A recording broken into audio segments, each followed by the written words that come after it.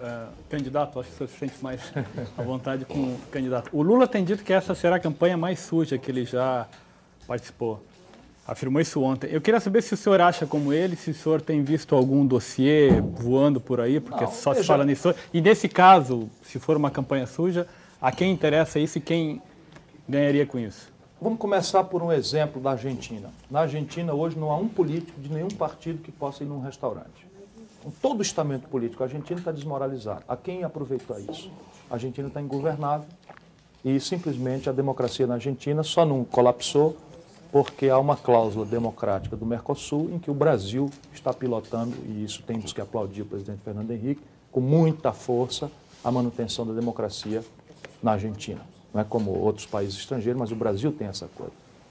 Portanto, imundície, sujeira, só vem aperfeiçoar um preconceito que já está muito forte no coração da sociedade de que todo político é bandido. Trata-se apenas de descobrir que tamanho é a bandidagem e de que se, se é, sendo bandido é capaz de fazer alguma coisa boa para o povo. Isso não é verdade. Não é? Comovidamente, isso não é verdade. Agora, eu discordo do Lula. Primeiro, este sintoma de deseducação política sempre houve.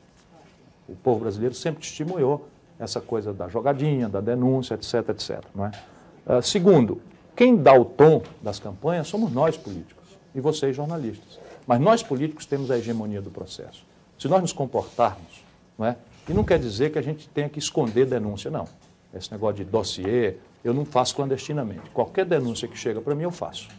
Um amigo, um amigo meu, muito recentemente, dou um abraço para ele se estiver assistindo, não, não vou aperfeiçoar o que ele disse, que eu sou muito bocão, né? Bocão quer dizer, eu falo. E eu falo porque, diz para ele, porque é, é a minha, minha ferramenta. Sempre a minha palavra, sempre foi a ferramenta.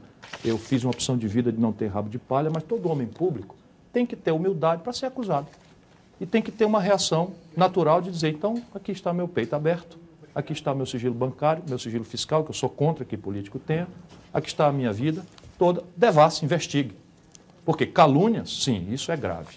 Porque você pode fazer uma calúnia do jeito que as coisas são hoje pela televisão, você destrói uma biografia, destrói uma reputação. Anos depois, o judiciário pode restaurar essa coisa e o processo já está queimado. Já temos vários episódios disso. Isso é grave e eu vejo sintomas disso no Brasil. No caso da Rosiana, o senhor acha que é não, isso? Não, ali é uma confissão. Não é? Aquela montanha de dinheiro. Tudo bem, aquilo seria teoricamente um documento de um processo que estaria teoricamente sob sigilo, sob sigilo judicial segredo de justiça. Portanto, devassar, manipular aquilo já não é bem afim com a lei.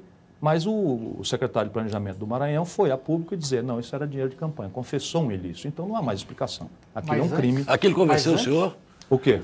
Porque há dúvidas não, não. dessa versão? Não. Dessa versão?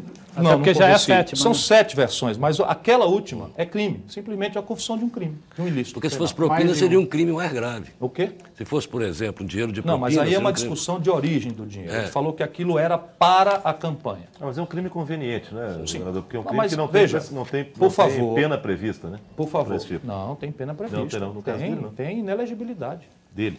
Não, não é dela. Depende da, dos, dos nexos a serem investigados. É. Ele disse que aquilo era para a campanha dela. É. É? É evidente que você pode, num procedimento judicial, distinguir responsabilidades, etc. É o fato é que está lá. É. Agora, eu, eu, eu, quero, eu não quero entrar nisso, porque eu acho tudo isso muito vulgar e eu quero me manter Perfeito. o mais alheio a essa imundície, porque quando a máfia briga, ela gostaria de fazer que todos fossem bandidos. Que é isso a quem interessa. Né? Aqueles que são gostariam de jogar. O senhor está colocando o PFL dentro da máfia, nesse caso, Rosiano. A máfia inclusive. não é partido, eu não vou, não vou cair em escorregões desse tipo. Né? A máfia não é partido. A máfia são os mafiosos, que estão nos partidos, que estão no, no, que estão no jornalismo, o que definitivamente não é o caso dessa bancada aqui, né? mas há mafiosos no jornalismo, como há, né? há mafiosos na plutocracia, há mafiosos nos partidos também.